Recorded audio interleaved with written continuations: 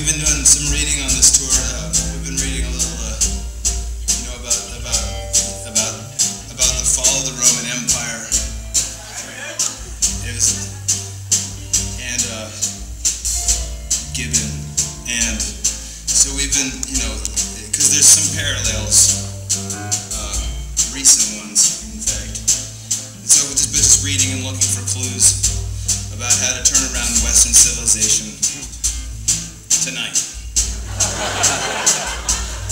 It's getting kind of important.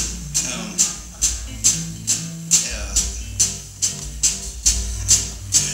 There's really two reasons why Rome fell. One was, if you don't mind, like a slight digression here. Well, there was hubris, you know, and the words of George Bush, if we could quote him, were exclusion from history.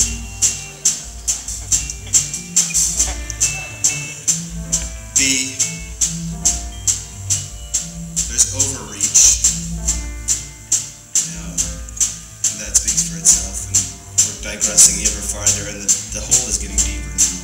Um, three, are you with me? I'm not sure I am, but here we go. Three, no disco.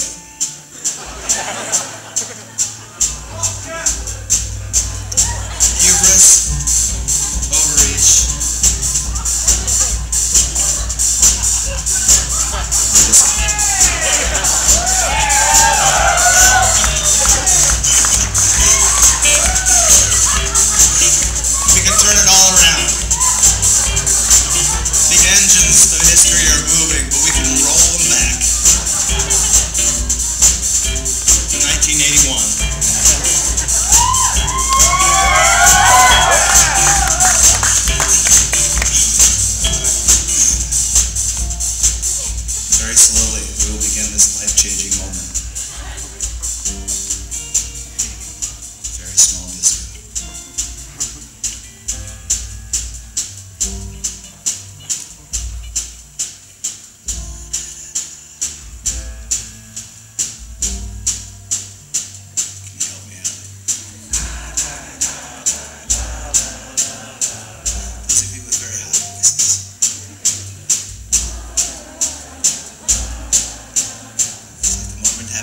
fire signature disconnected.